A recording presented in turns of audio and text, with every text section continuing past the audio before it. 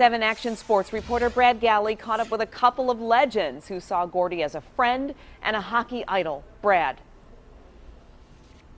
Yeah, people have been pouring in. They continue to do so, Glenda. And the most important and impressive thing the Howe family is standing in front of their father's casket, greeting every single member of this hockey family that walks through Joe Louis Arena to thank them for their support over the years. It's been a remarkable scene here behind us at Joe Louis Arena. You can see the line is still very long, and the first people to be here nine minutes before nine, if you can sense a theme there, some of the greatest hockey legends this sport has ever seen.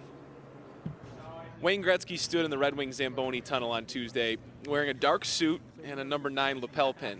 The great one spent the next 15 minutes telling reporters why his hero was the greatest to ever play the game of hockey and why befriending him was the greatest gift of his career. He was the greatest hockey player ever lived and happened to be the nicest man that I've ever met. Still to this day, that my favorite Christmas ever was getting a Red Wing number nine jersey when I was five years old. It's still the best Christmas present I ever got. Gretzky leading a long line of hockey legends surrounding the Howe family.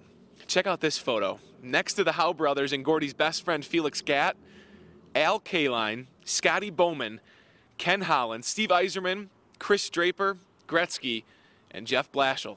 What does it mean to you to have the family ask you to be such a big part of, of this week?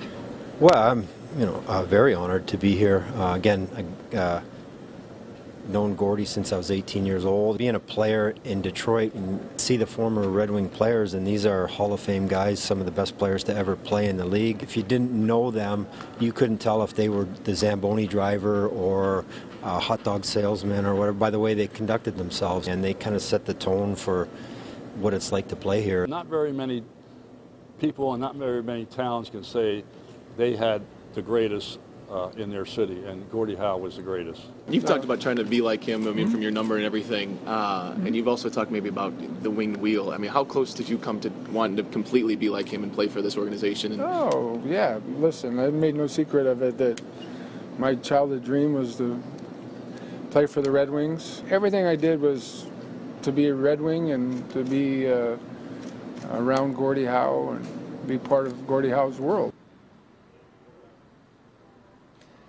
So we keep talking about Gordie Howe's impact in this city, in this community. I think right there, you listen to Wayne Gretzky saying his entire life was spent trying to live up to be Gordie Howe, and he eventually wanted to try to play here. It didn't work out. What could have been there?